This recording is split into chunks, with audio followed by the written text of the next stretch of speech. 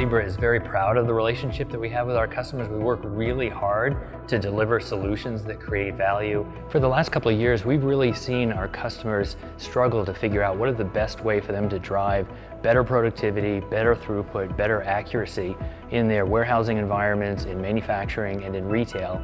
And one of the keys to figuring that out is how do I deploy automation?